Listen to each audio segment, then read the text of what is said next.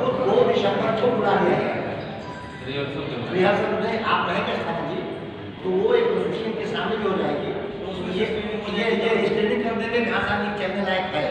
उस दिन की प्रस्तुति में ये अच्छा करेगा। ठीक है?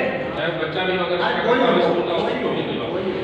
एकल एकल कुछ भी नहीं होगा। जो भी होगा समूह में आपकी पूरी टीम रहती है है नहीं है। एकल प्रस्तुति नहीं है नहीं नहीं दोनों तरीके चलेगा।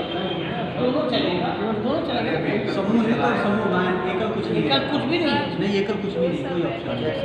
नहीं